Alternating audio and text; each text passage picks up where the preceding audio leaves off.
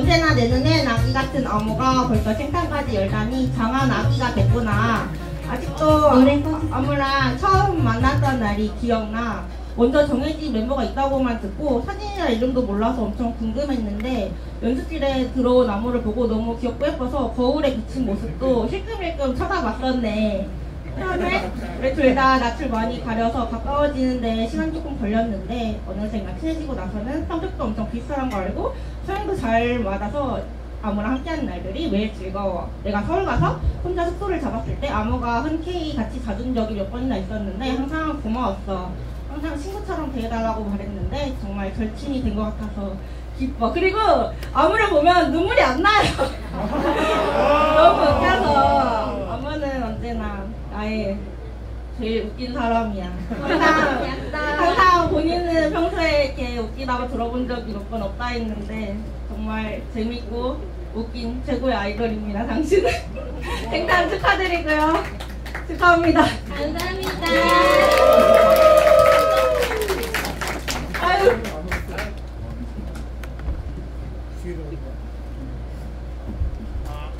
아무지 안녕 미나입니다. 우선 생탄제 무사 개최를 축하해.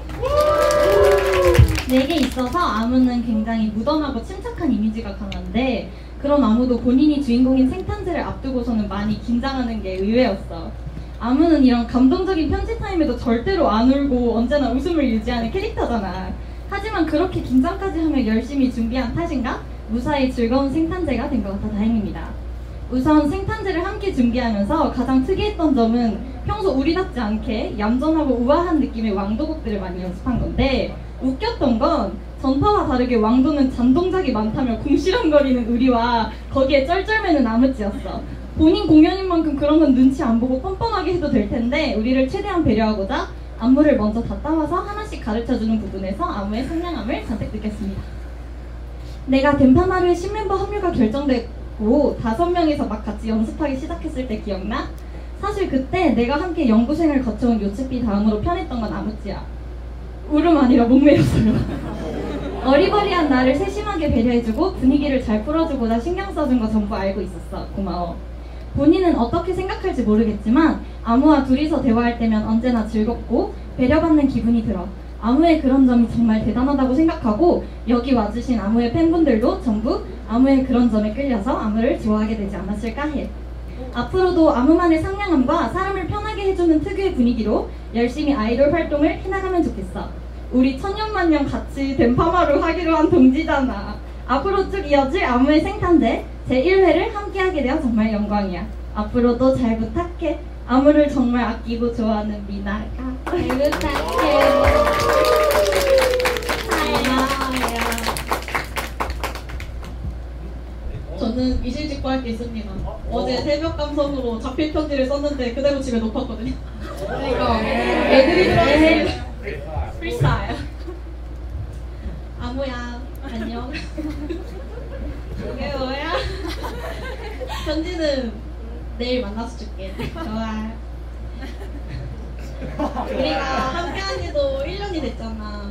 처음에 만난 아무는 굉장히 조용하고 차분하고 그렇지만 엄청 반짝반짝 예뻐가지고 와 저런 친구가 아이돌 안 하면 대체 누가 아이돌을 할까라는 생각을 했었어. 이제 멤버들 처음 다 같이 만날 때 전부 다 아무 보고 감탄했잖아. 그때보다 지금이 훨씬 더 멋진 아이돌이 된 것 같아서 굉장히 뿌듯해. 뿌듯하고 대견해. 아, 그러고 이거는 진짜 말하고 싶었던 게 있는데 아무가 내 생탄에 말했잖아. 자기 이름을 왜 아무로 불러줬냐고. 음, 아무가 가져온 이름 리스트가 마나, 라라, 루루, 루비, 그리고 아무였잖아. 그 정도? 나 너가 보는 카톡도 다 있어. 막상 들어보니까 아무가 제일 많네. 이거를 생탄 때 말해서 꼭 나도 생탄 때 이거를 얘기를 해야지 하고 반년을 묵혀놨어. 굉장히 목숨. 그래도 아무는 아무라는 이름이 제일 잘 어울리는 것 같아요. 항상 내가 힘들 때 의지를 많이 하게끔 어른스럽게 행동해줘서 고맙고 앞으로도 영원히 예쁘고 반짝반짝 빛나는 아이돌로 남아줬으면 좋겠어. 더 길게 썼거든 분명히. 내일 아무 생탕 카페 가서 낭독회 할게. 생일 축하해. 고마워요.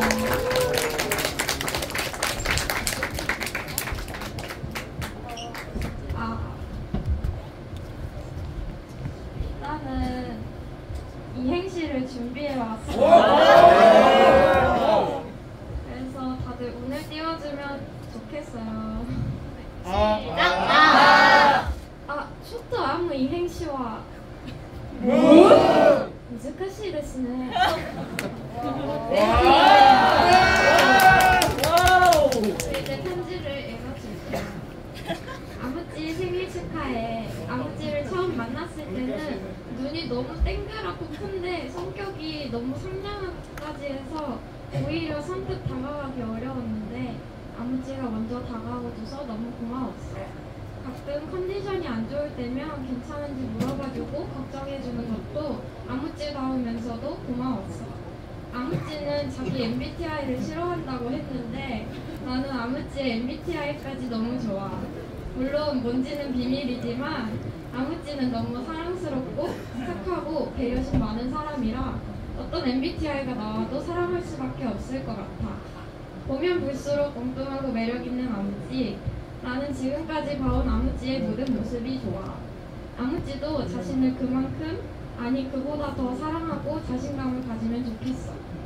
어, 그럴 만한 사람이니까.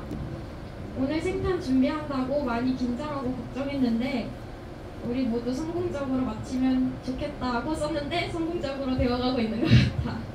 다시 한번 생일 축하하고 아무지 사랑해. 나도 사랑해.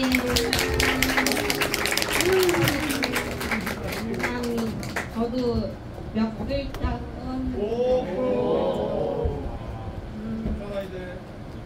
음.